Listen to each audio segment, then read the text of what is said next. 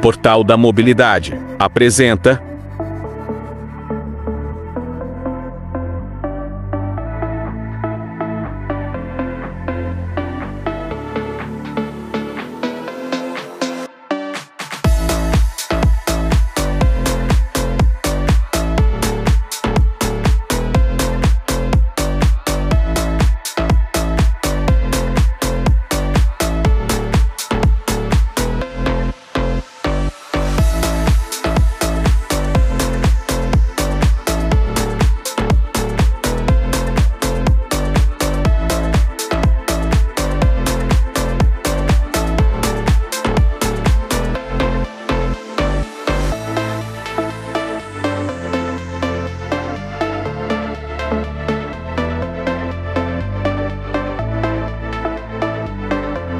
Curta, participe, divulgue, Portal da Mobilidade.